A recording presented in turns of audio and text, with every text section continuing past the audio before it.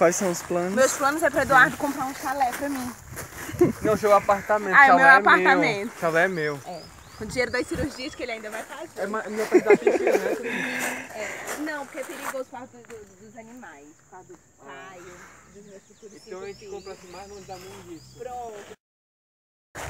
Estamos aqui na Coab. Coab para ricos. É desse jeito que se apresenta.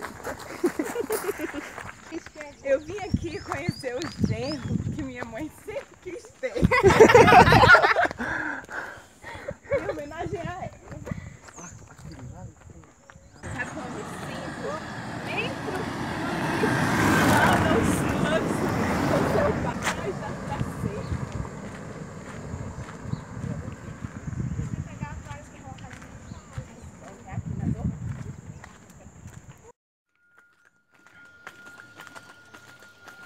Vocês não são os audaciosos.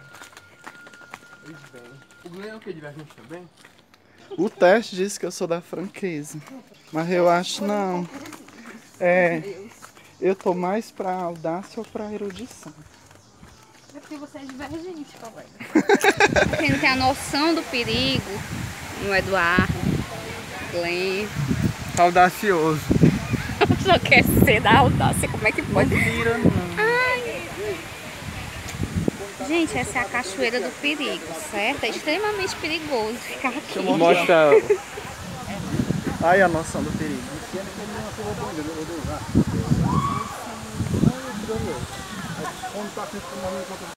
Você não entende seus pais. Yeah, Isso é um absurdo.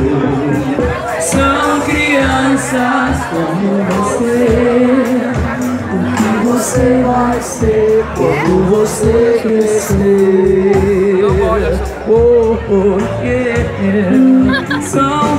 Mas é grande. É muito grande. É maior que a antena que tá lá em cima também. Ele é um poste, velho. A antena tá do lado. Aqui, ó. Ai, tem um zoom. É isso que eu tava mandando você fazer. Não sabia que tinha esse recurso.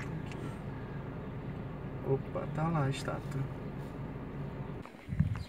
Estamos aqui em Caridade, município do interior do Ceará, próximo a Canidé, onde está a lendária cabeça do santo.